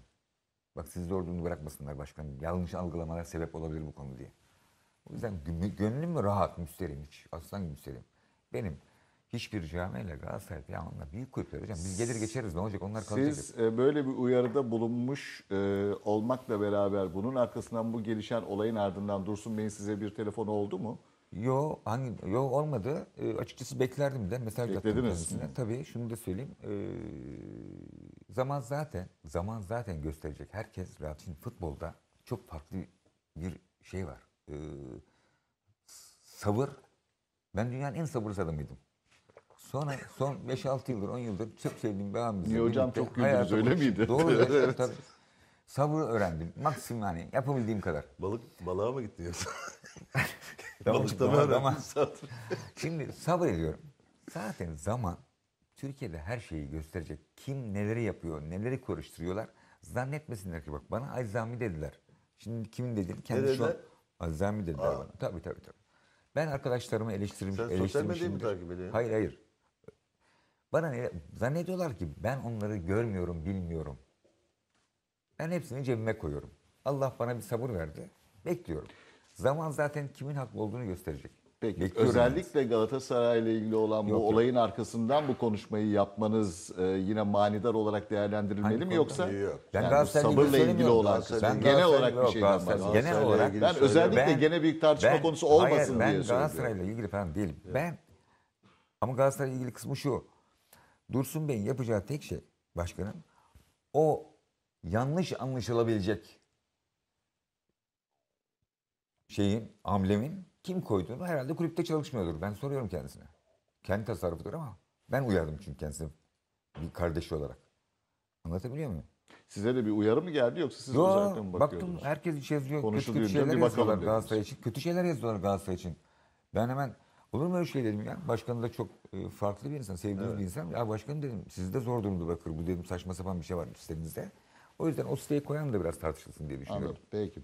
Bu Başakşehir'in e, özellikle e, UEFA Avrupa Ligi maçlarında hem bundan bir önceki maç e, Ludogorets maçını söyleyemeyiz. Ludogorets maçı böyle değildi ama arkasından e, gelen karşılaşmalar ve son maçta yine bir rotasyona gitmesi hocanın o maçtan önce verdiği basın toplantısında takımı ben yaparım, istediğimi oynatırım, oynatmam şeklindeki ifadeleri. Ve yine Ludogorets maçında da işte o maçın kadrosu da e, şu anda elimde. Volkan Babacan, Edin Visca, Mosoro, Elia e, bunlar yedeklerdeydi. E, Adebayor yoktu. İşte Emre'nin, e, Mahmut'un sakatlıkları vardı vesaire ama genel olarak baktığımız zaman eğer bu işte oyuncularla ilgili değişiklikler biraz daha erken yapılmış olsaydı ben o maçı anlatan kişi olarak biraz dönme ihtimalinin fazla olduğunu düşünüyorum. Döner de dönmez Hangi de. maçın? Tam Son maç Hoffenheim maçı. Offenham maçı. Ee, Bir birlik maçı bahsediyor. Evet, evet bir birlik maç. Ya şimdi- Ee, yani bu hakikaten e, Başakşehir'in UEFA Avrupa Ligi'ni, sorum şu aslında. UEFA Avrupa Ligi'ni tamamen göz ardı edip bu sene şampiyonluğa ciddi anlamda e, ben talibim noktası olarak mı okumak lazım bu e, pozisyonu? Şimdi sene başında oynadığı Sevilla maçı şeydeki psikolojiyi bozdu Başakşehir'deki. Ondan sonra yaptığı bak e, Karabük maçında 9 tane futbolcu oynatmadı Sevilla maçından önce. Ben doğru yaptı dedim. Çünkü hedefi büyüktü. Şimdi büyük hedef muhtemelen hem başkanın hem Abdullah Hoca'nın hem takımın gözünde lig olarak gözüküyor onlara. Çünkü Belki de ondan sonraki hedef de Şampiyonlar Ligi olarak. E şimdi görünüyor. Yani buradaki işi zor. Yani gruplardaki işi zor. Bu bir gerçek. Zora soktu. Ama burada önünde gidebileceği bir yol var. Onu görüyor. Geçen sene bunu test etti. Kimsenin beklemediği bir testi yaptı. Ligi ikinci bitirdi öyle mi? Evet. Şampiyonlar Ligi'nin kapısından bir direkten dönen topla döndü. Şimdi o psikolojiyi şeyde yaşayamıyor e, UEFA Kupası'nda. Dolayısıyla şu anda lig onun için geçen yıldan bir yaşanmışlığı tecrübesi var. E, geçen yılki kadrosunun üzerine çok değerli futbolcular kattı. Yani geçen sene onu yaşayan takım bu sene biraz daha dikkatli, biraz daha konsantre olduğu zaman onu başarabilir olarak görüyor. Dolayısıyla buradaki yaptığı rotasyonlar hem oradaki hem buradaki rotasyon bana göre doğrudur. Ha, gözden mi çıkardı? E, önde bir tablo var. Bu tablonun değişmesi artık oradaki grup ikinciliği imkansız mı? Değil ama zor. Yani Çok zor. oradaki konsantrasyonu kaybetti. İşte Beşiktaş kardeşim ya 3 tane maç ikisi dışarıda biri içeride 3'te 3 yaptı. 4 hafta maç kazanamadı. Ama mesela ben e, şöyle de bakmak gerektiğini düşünüyorum hocam. E, O zaman biz Galatasaray'ı işte Ostersund'a elendiği için. Efendim biz Fener izninizle. Efendim Fenerbahçe'yi demedim şuna e, elendiği için fazla da eleştirmememiz lazım. Hayır. Neden? İki, onlar, Şimdi bakın Onlar aynı şey değil. Bakın O- ama hayır, bakın ben hayır, size o- hayır, hayır nereye geleceğim? Şuraya geliyorum ben. Yani Galatasaray. Fener'in nerede ne yaptığı anlamında değil. Ee, bugün şöyle siteye baktığım zaman e, UEFA Avrupa Ligi'nde ve Şampiyonlar Ligi itibariyle e, ülke puanına katkıda bulunan takımlar açısından 19. sıradayız. 19. sıradayız. Yani bu çok düşük. Yani Başakşehir sadece kendi adına oynamıyor ki. Ee, bu aynı zamanda bizim e, ülke puanımız için de e, takımlar oynuyorlar. o noktada da eleştirebilir insanlar. Şimdi- çok garip değil. Şimdi, şimdi bak bir şey söyleyeyim. Senin söylediğin bu masada doğrudu. Fakat uygulamada, pratiğe geçtiği zaman hiçbir takım o gün çıktığı maçı ülkenin puan maçı olarak görmez. Önce kendisi için gör, kendisi için kazanması. E, Kendisi için görmediğini E, ta- gördük ama yani yapılan E, değişiklikler. Yani ülke puanı burada ikinci planda kalır. Yani ben ikinci senle- planda kalmış zaten. Levent'ciğim. şey- Buyur hocam. Hocaya katılıyor muyum? Yüzde yüz. Başakşehir'in Malatya'daki ilk yarısını sizin ikinci yarısını mükemmel bir takım gördüm. Müthiş oynadılar. Hocanın söylediğine bir katkım olsun. Aynı şeyleri söyleyeceğim. Beşiktaş Şampiyonlar Ligi ile birlikte götürürken rotasyon derken dört maç kazanamadı. Başakşehir'de ligin dibindeki Gençler Birliği'ne ve bir tane de hatta Karabük'e mağlup oldu. Rotasyon şeyinde. 3-1 mağlup Ama oldu. Avrupa Ligi Bundan- Seviye maçından önce 3 Tabii tabii. kaybetti. Şampiyonlar Ligi, Avrupa Ligi bundan 10 yıl önceki gibi değil artık. Eskiden şamp- Avrupa Şampiyonlar Kupası bir de UEFA vardı Galatasaray'ın şampiyon. Finali kimin oynadı Galatasaray? Arsenal'da oynadı. Şimdi baktığımızda geçtiğimiz yılda bir istisna tutuyorum Manchester United'ı. Çünkü ligden Mourinho'nun takımı çok erken kopmuştu. Aa hazır bir yakalamışken şurada bir şey var dediler hemen bunu alalım dediler. Ama onun dışında aynı şey gibidir. Türkiye Ligi gibidir. Türkiye Ligi'nde Fener, Galatasaray, Beşiktaş, Trabzon, Bursa şampiyon olmuştur. Bir, ke- bir tane derilmiştir dört büyükler. Ama Avrupa, Türkiye Kupası'nı, şimdiki adı Ziraat Kupa, en az 10 takım vardır. Avrupa Ligi de artık son 10 yıldır ekonomik olarak da getirisi yok. Bak dikkat et Premier Ligi takımlarına genelde rotasyon yapıyorlar. B takım falan yapıyorlar. Ayrıca bir oyuncu böyle yapmaz bak. Maç sabahı ya akşam biz yine günde ülkemiz 8 puan alsın. Aklımız gazeteden okuyordur yani. gazeteden. Şimdi zaten bak yani olay nereden nereye geliyor. Şimdi o takımda da kaç tane futbolcu var ülkesini düşünecek ya? Hocam siz düşündürteceksiniz yani. Doğru söylüyorsunuz da. Hayır. Hayır ben de o zaman şunu söylüyorum. O zaman biz Galatasaray'ın, Ostersund'da, Fenerbahçe'nin öbür takımı elenmesini Ya fazla hiç konuşmayalım. kimse yani. onu düşünmez ama bak bir şey söyleyeyim Levent sen sana. düşünüyor musun Ya hakikaten? sen- Ülke puanı düşünüyor musun sabah kaldığı zaman TRT'yi? Yok yani, Yani o maç baktığım oynanmadan zaman- sen ülke puanı düşünüyor muydun? Kaybettikten sonra düşünüyorsun. Tabii. Şimdi bunu doğaldır. Bak bu bir hata değildir. Ama biraz evvel söylediğin Fenerbahçe'nin Bardar'a, Galatasaray'ın e, Östersund'a elenmeleri bizim için anormal bir şeydi. Sadece bizim için değil yani Avrupa'daki ülke takımları için de, ülke futbol severleri için de anormal bir şeydir. Başakşehir öyle değil. Anladın mı? Hocam şimdi elenmeselerdi de onlar da gruplarda oynayacaklardı. Levent, o zaman gruplarda Levent'ciğim, oynamalarını çok fazla dikkate almayacaktı. Hep yüksek olsun. Ne Lucescu, Lucescu bilmem milli takım antrenörü. Kulüpte hiç futbolcu, futbolcu ülke puanı falan sorsam bilmezler. Ya- Lucescu deyince hocam Lucescu'nun açıklamalarından bir şeyler söyleyeyim size. Biliyorsunuz e, La Gazzetta dello Sport'a bir açıklama yaptı. Dedi ki e, hafta içi. Zaten Lucescu bu ara e, güzel konuşuyor. E, bir e, Ersin'in programına çıktı. Arkasından La Gazzetta dello Sport'a açıklama yaptı. Arkasından UEFA'ya anılarını e, anlattı. Dedi ki Türkiye'de e, İtalya'ya verdiği demeçte para var. Siz İtalyanların hayal ettiği yeni stadyumlar var ama İtalya'daki gibi futbolcu yok. Bir. İki, federasyonla sahadaki yabancı sayısına bir sınır koyacağız. Doğu ülkelerinde e, yabancısız olmaz. Cengiz Emre Enes gibiler e, yurt dışına erken çıkıyorlar şeklinde bir açıklama var. Bu arada bu akşamki basın toplantısında tekrar konu gündeme gelmiş ki o doğu e, ifadesi ne demek istiyorsunuz diye. Bir pasaj okuyayım ne dediğine dair. Yarın akşam bir maç oynayacağımızı düşünüyordum. Eğer sürekli geçmişte yaptığım röportajları konuşacaksak e, hata yapmış olacağız. Batı Avrupa ve Doğu Avrupa ülkeleri olarak söyledim ben. Romanya gibi, Rusya gibi, Ukrayna gibi, Yunanistan gibi bütün hepsi Doğu Avrupa ülkeleri. Ama bunu değişik bir şekilde yorumlamak istiyorsanız başka bir şey. Ama benim söylediğim bu. Bence röportajımda daha enteresan olaylar vardı. Türkiye Ligi'nin ortalama yaşı 29-30 arası. Avrupa'nın yaş seviyesinden yukarıda Türkiye'de oynayan yabancı kadar Avrupa'da oynamıyor. Mücadeleci bir milli takımı kiminle yapabilirim? 14 yabancı ve 14 yerli var gibi kadroda ama sahada oynayanlara baktığımız zaman %15-20 arası bir Türk ortalaması var. Ben yabancı oyuncuya karşıyım demedim. Olduğu gibi kalmasından yanayım. Şimdi de olduğu gibi kalmasından yanayım demiş. Ne? Yabancı oyuncu sayısının. Evet şu anda onu söylemiş bu akşam Evet şükür. basın toplantısında. Sesli de var. Ee, yani e, oku- okudum. Verin DSF'sini isterseniz üstüne konuşayım fark etmez. Ee, yanayım ama milli takımdaki oyunculara daha fazla fırsat verilmesini talep ettim. Budur. Teknik olarak çok üst düzeyde olan Türk oyuncularla üst seviyede bir Türk milli takımı kurabileceğimizi Daha Ama yabancı düşürülme mi demiş? evet Düşürülmeli mi demişti? aynen e, tabii ki demişti. Dememiş miydi yani? Bilmiyorum. onu Dedi tabii. tabii hocam. Bugün öyle dediysek o zaman bununla ilgili yorum yapmayalım. Üç gün sonra ne diyecek ona göre bekleyelim. Ona Ona göre. Öyleyse eğer. Değil mi hocam?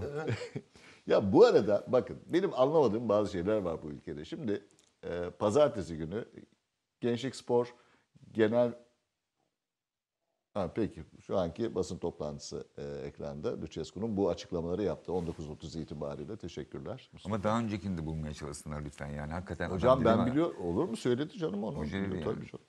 Ee, pazartesi günü e, Sayın Bakan Osman Aşkın Bak e, bizde e, program konuydu basın tribünü e, programının. E, Sayın Bakan da e, benim gönlüm e, 5-6 civarında yabancı olmasından yana böyle olması lazım şeklinde bir ifadede bulundu.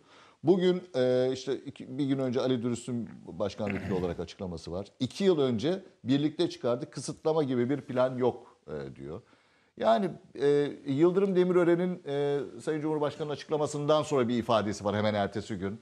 E, bence de e, öyle olması lazım. Kısıtlama olması lazım. Bunu konuşacağız diyor. E, e, diğer tarafta e, Galatasaray Başkanı Dursun Özbek eğer böyle bir şey olacaksa o zaman Türk futbolculara verilecek e, parada bir e, tavan olsun, 6 milyon olsun gibi bir şeyler söylüyor. Yani ne olacak ben anlamadım. Dursun Samet Bey- Aybaba bugün Dursun çok Bey sert çıktı. Galatasaray Başkanı olarak söylemedi galiba ya. Kulüpler Birliği Başkanı olarak söyledi. Hayır o Galatasaray. Kulüpler Birliği Başkanı olarak değil hocam. O Kulüpler Birliği'ni bağlar o zaman. O direkt olarak Galatasaray Kulübü'nün e, ifadesi olarak söyledi. E, siz konuşmaya devam edin. Ben o ifadeyi de Niye size bulurum. konuşayım sen oradan? E, ama söyleyeyim yani ne söylediğini. Bakın yerliye de sınır koyuyorsun diyor. Galatasaray'dan öneri. Yabancı futbolcu sayısının azaltılması halinde Türk oyuncuların fiyatlarının artmasından endişe eden Galatasaray yönetimi yerli futbolculara yıllık en fazla 6 milyon lira ücret ödenmesi önerisini gündeme getirmeye hazırlanıyor. E olmaz böyle bir... Bir daha sorun. 6 milyon lira yıllık bir futbolcuya, yerli futbolcuya tavan olarak 6 milyon liralık e, ücret E, şey yapamazsın. gündeme getirmeye çalışıyor. Onu onu yapamazsın. Ya Türkiye'den 50 milyon avroluk futbolcu çıkmaz mı? E çıkabilir tabii canım. Yani- Yani, yani bu, bu tabii ki öyle kabul edilebilecek bir şey şey değil. Olur mu? Burada hassas daha farklı konular var. Şimdi Neler söyleyeyim. var hocam? Şöyle hassas. Burada hassas. Ne dedi? Sayın Bakan konuşma yaptı. Evet. Sayın Cumhurbaşkanı konuşma yaptı. Daha sonra Yıldırım Bey böyle dedi. diyor. En başta Sayın Cumhurbaşkanı yapmıştı. En başta plan mevzusunu ben anlatayım. Bir yıl önce de yapmıştı. Futbol zirvesinde. Evet. Arkasından da ATV'ye verdiği canlı yayında Arkasından değil, röportajda. 6 ay sonra. Şimdi başka bir Altı şey ay söyleyeceğim. sonra, bravo. önce. Şimdi bu yabancı kontenjanın işi bugün başarılı olan her takımın taraftarını rahatsız eder. Neden rahatsız eder? Şimdi Galatasaray yabancı ağırlıklı oynayan bir takım. E kadrosu o gün o yayında da bunu da söyledim de işlerine gelmediği için yapmadılar. Adam, ka- madem ka- kural var ben kuralı sonuna kadar oy- oynarım diyor. İster 11 yabancı oynarım ister bir yabancıyla. Yerlilerle kötü giderken iyiydi. E canım, Bunu da Fenerbahçe. Final Four'u Ha, kazandı hocam bütün yabancılarıyla. Şimdi gelelim şeye.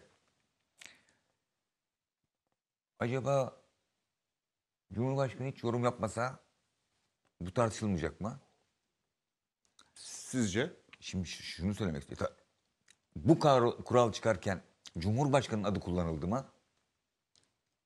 Yani Cumhurbaşkanı 14 yabancı istiyor mu dendi? o dönem kim var? Aynı federasyon var. Hayır, te- teknik direktör olarak Fatih Hoca var. Bir hoca vardı evet. Evet. Şimdi bu federasyon çıkarmadı mı 14 yabancı işini? 14 yerli statüsü diye. Doğru mu? Evet. Şimdi bu federasyon o zaman e, Sayın Cumhurbaşkanı spor sever bir insan. Ona niye sormamışlar? Veya sordularsa cevap aldılar mı? Sormadılarsa niye 14 yaptılar? Veya niye soruyorlar? Niye Cumhurbaşkanımız konuştuktan sonra hemen tamam yapalım diyorsun? E, çıkaran sensin. Şimdi ne oluyor? Siyasi anlamda baktığın zaman bizler yorumcu olarak da biz 14 yabancı ile ilgili fikrimizi söylerken antipatik olabiliriz. Haklı olarak Galatasaray taraftar da ya size ne Sayın Bakan diyebilir. Sayın Cumhurbaşkanım size ne diyebilir? Ama zaten bu federasyonun işi. Niye Yıldırım Bey Cumhurbaşkanı cümlesini bekliyor ki? Eğer Zaten sen karar verdin. Zaten bir şey Şimdi sıkıntı Bir bak. hocam. Evet. Bunlar tehlikeli. Bunlar Evet. sıkıntılı. Bu yani bir spor adamıdır spor e, bakanımız. Demişlerdir ki veya Cumhurbaşkanımız, Başbakanımız veya da CHP lideri. Ya o fikir, mesela Devlet Bey'in de fikirleri var. Anladın? Fakat siz zaten kurumsunuz. Ama ya. bence Kararı siz alacaksınız. Mutlaka ama bence Sayın Bakan'ın e, ifade ettiği e, bir anlamda Sayın Cumhurbaşkanı'nın görüşlerini, kendi görüşü Tamam, de tabii ki var tamam, evet tamam ama. Tamam Sayın da- Cumhurbaşkanı'nın Tamam. görüşünü de tekrarlamış Ya oldu. Şimdi bak burada kimseye tercümanlık yapmaya gerek yok. Benim ne söylemek istediğimi anladın herhalde. Sayın Cumhurbaşkanı eski bir futbolcu. Bu ülkenin vatandaşı. Cumhurbaşkanı bir tarafa bu ülkenin vatandaşı. Bu ülkenin hangi vatandaşına sorarsan sor. Bu kadar sayıda yabancı ister mi istemez. Sayın Cumhurbaşkanı'nın böyle bir düşüncesi varsa bunu farklı şekilde söyler. Orada bir vatandaş olarak daha az olsa benim hoşuma gider. Biz de diyoruz. daha az olsa bizim de hoşumuza gider. Fakat şartlar seni buraya getirdiyse herhangi bir siyasinin konuşmasına gerek yok. Eğer bir şey yapılacaksa oradan bir mesaj gibi algılanmasına gerek Tabii tabii yok. hocam. O te- çok o, tehlikeli. O, o çok farklı. Bir dakika ben mesaj gibi algılıyorum. Nedenini söyleyeyim. Bakın ilk Hayır, konuşma. mesaj olsa böyle verilmez. Şöyle söyleyeyim. Futbolun zirvesi toplandığında böyle bir konuşma yaptı kendileri. Arkasından Konuşuyoruz. Kim- Futbolun kim- zirvesi burası değil mi? Hayır, pro, e, şurada, şurada Ne futbol şurası? zirvesi. Hı. Hocam Halis biliyorsunuz Kongre- işte Halis Kongre Halis Merkezi'nde. Kongre Merkezi. Arkasından tamam onu e, bir vatandaş olarak yaptığını düşünelim. Fakat 6 ay sonra e, ATV e, canlı yayınında bu sorunun tekrar kendilerine sorulması ve kendilerine bu konuda görüş bildirmesi bir mesaj değil midir sizce? Şimdi Niye şöyle- mesaj olarak algılansın? Sizce değil mi? Ben mesaj olarak değerlendiriyorum. Ben bir Türk bilmiyorum. vatandaşının Efendim?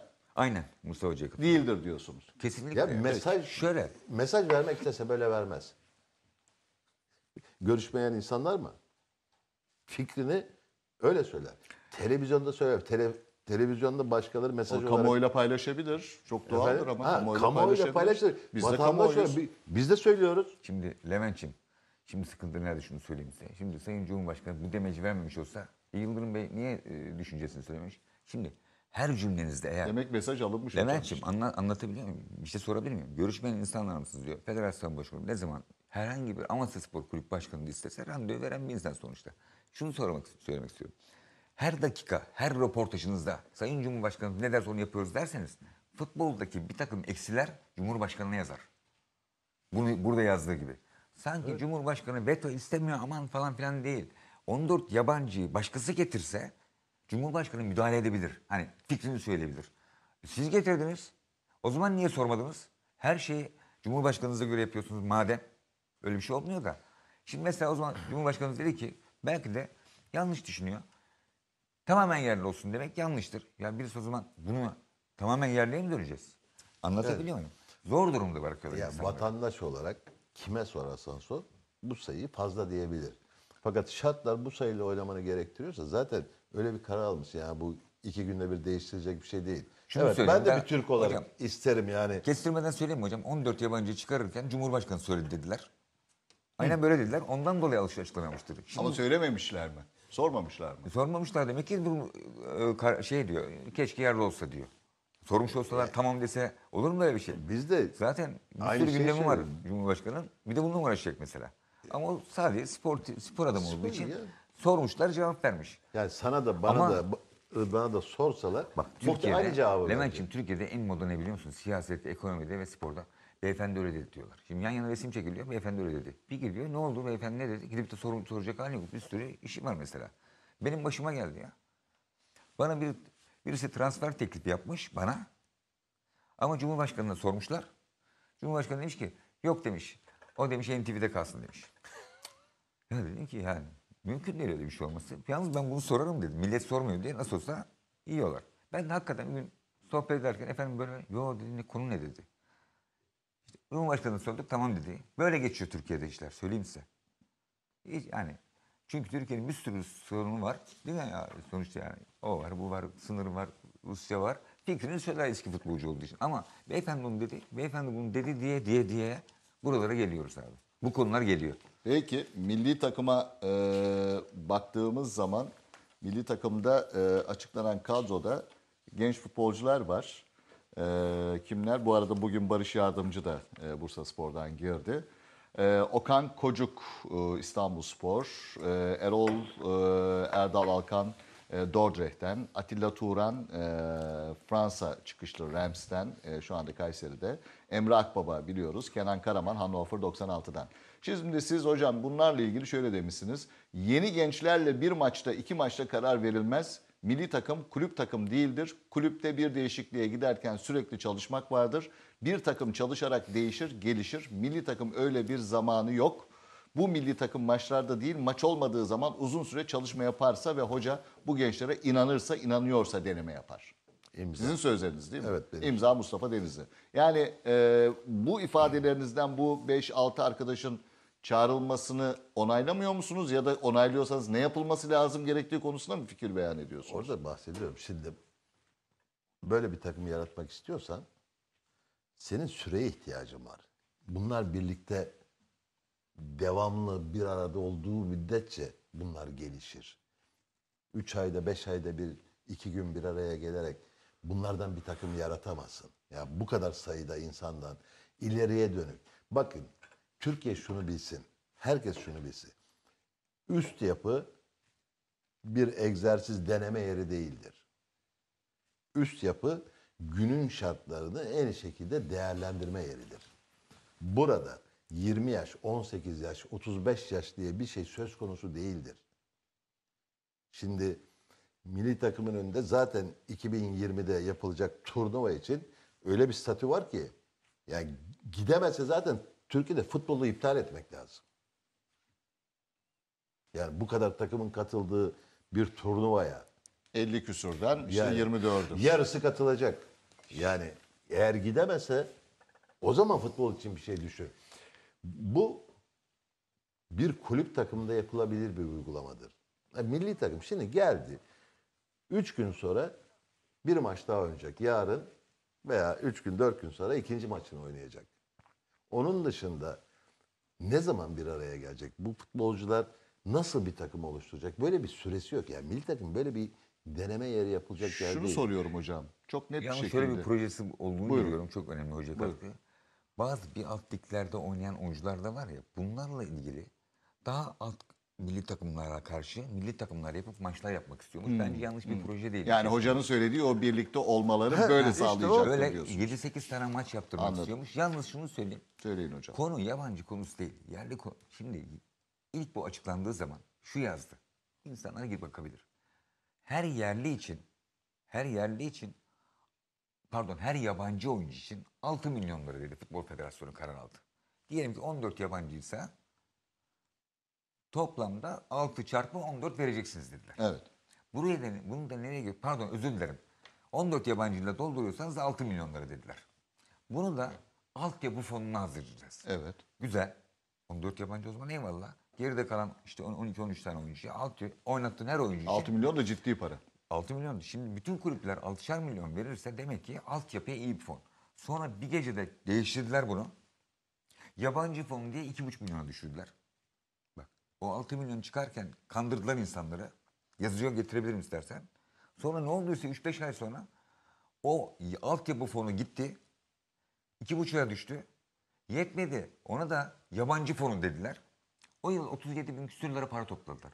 O para kulüplere mi gitti, neye gitti bilmiyorum. Bir şey kimseye zan Ne kadar bırakmıyor. topladılar? 38 milyona yakın para. Ama kimsenin günahı alma öyle insanlar asla değiller ama o zaman benim 38 bin lira gerçekten altyapılara verdiniz mi? Ya bu, yani bu kanun ilk çık yani bu 14 yerli işi çıktığı gün ilk çıkan şuydu. Her kulüp 14 yabancı alıyorsa 6 milyon lira para verecek dedi. Peki. Hocam süremiz çok kısıtlı. Ee, sona doğru geliyoruz. O zaman Ee, nasıl yerliye teşvik edeceksin Doğru. hocam? Şimdi e, bir yavaşça bir U dönüş yapıp Galatasaray'a gelelim. E, Arda gelir mi Galatasaray'a? Bilmem ki. Hiç konuşmadınız mı bu ara? Yo geçen gün sadece nasılsın kardeşim diye çoktandır görüşemiyordum. Sağ ol hocam siz nasılsınız dedi. O kadar mesaj. O kadar. Galatasaray'a geliyor musun, gelmiyor musun diye konuşmadınız mı? Yok yok hiç. Merak etmiyor musunuz hocam böyle? Ben mesela açsam Arda ile telefonla konuşsam ben- Arda Aç. nedir durum derim yani. Aç. E, olsa hocam E, aç derken Telefon aç. Sor. e, hocam yani Arda ile her zaman bizim konuşma fırsatımız olmayabilir Ha, ben yani. Arda Turan'ım. Rıdvan Hoca Gelmemesi lazım. gelmemesi mi lazım diyorsunuz? Türkiye'ye dönmemesi lazım Arda'nın. Huzuru da kaçar. Oynama isteği de kaçar. Bence dönmemesi lazım. O mücadeleyi verecek. Her futbolcu bu dönem gibi dönemler yaşayabilir. Yılmayacak. Çalışacak. Gerekirse nerede oynuyordu kardeşim yani?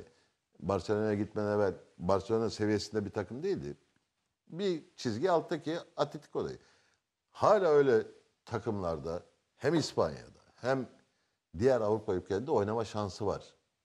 Yani Arda aklı o kadar çalar. Arda Türkiye'ye gelmez. Öyle. Peki son noktayı öyle koyalım. Bugün günlerden ne hocam? Saat kaç? Sekiz buçuk. Tarih olarak 8 Kasım. Evet. Vay hocam. Tam 29 yıl bir gün önce siz bu saatlerde Bir gün sonra.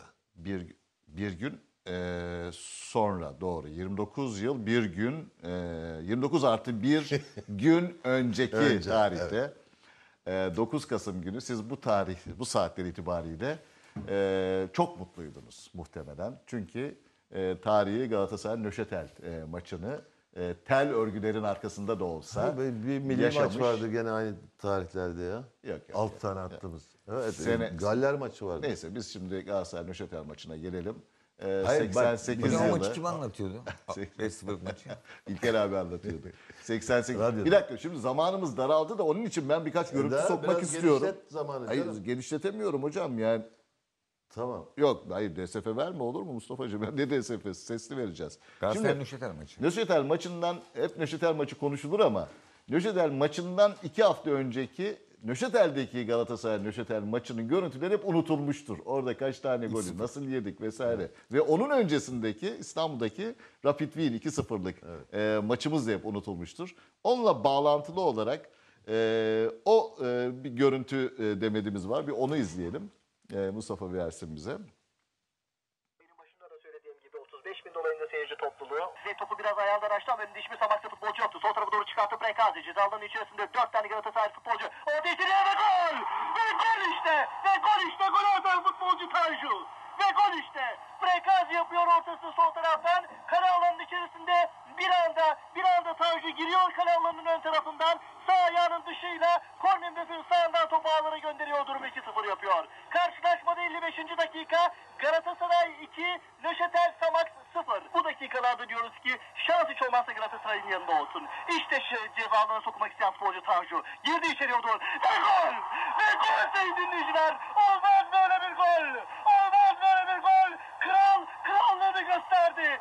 Durumu 4-0 yaptı. Durumu 4-0 yaptı. Tanju gerilere kadar geliyor kral. Orta yuvarlığa doğru gönderdi top Prekazi. İşte Prekazi'den sol tarafta Metin. Sağ tarafta Tanju. Metin bastı topa. Arkadaşların gelmesi için cezalara sokuluyor. Gol bir bölümle karşı karşıya. Boşta kalan hadi Tanju gol. Gol! Gol! gol durum 5-0. Durum 5-0. Ve Galatasaray Avrupa Şampiyon Kulüpler Kupası'nda çeyrek finalist. Galatasaray Avrupa Şampiyon Kulüpler Kupası'nda çeyrek finalist sayın dinleyiciler. Evet kısmette yokmuş o e, Nöşetel Galatasaray maçını iki hafta öncekini veremedik yine. Olsun Onu bir. DSF'de gerekirse arkadaşlar okurlar. E, e, hocam neyi veriyorsun Mustafa'cığım? Hiçbir şey vermedi. Konuşalım. Yok yok verme artık gerek yok. Gerek yok verme artık gerek yok. E, hocam e, bir, bir anlamda Türk futbolu için dönemeç noktalarından birisiydi değil mi? E, Nöşetel Galatasaray maçı.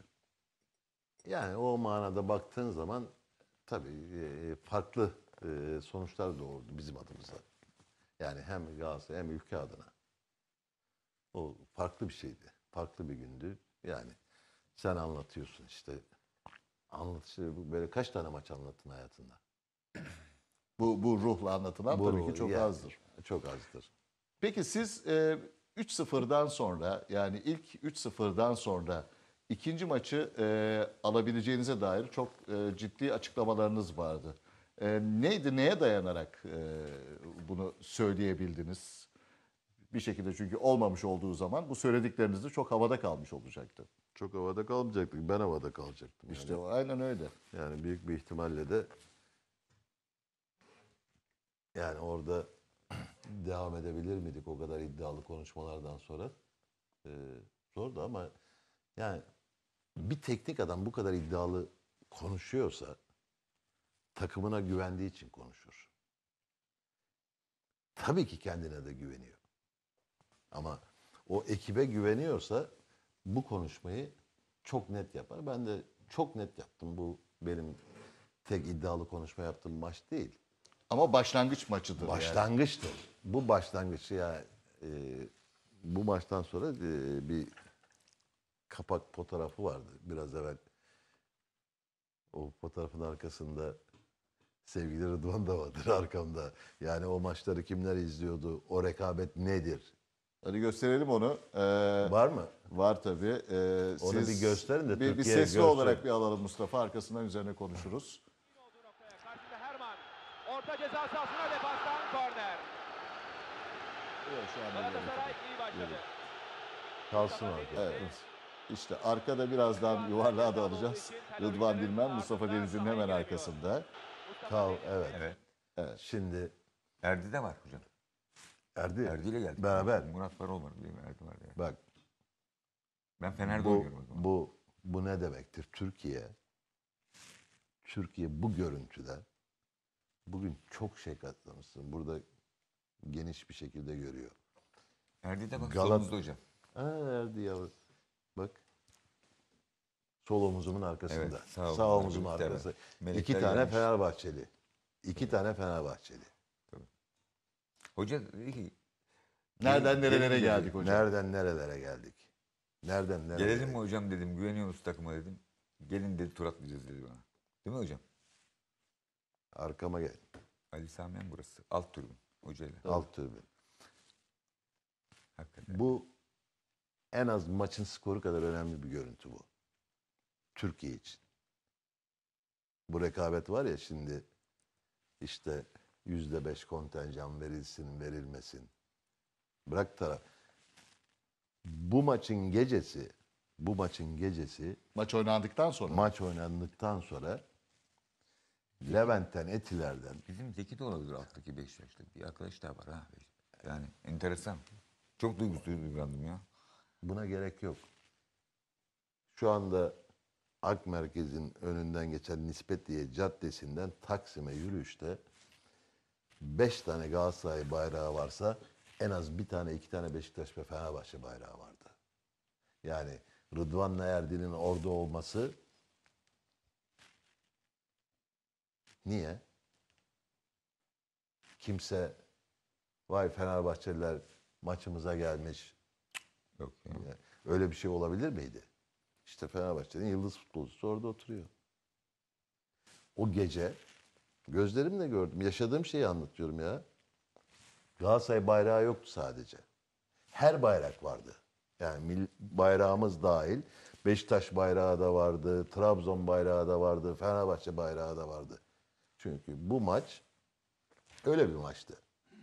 Hakikaten Semih, Cüneyt abi, Ya, Uğur, ya. Tanju, Metin.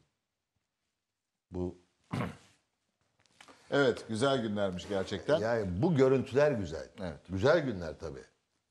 Bugün gene olsun. Bunların böyle bir maçı Fenerbahçe oynasın, Galatasaraylı futbolcu gitsin orada otursun.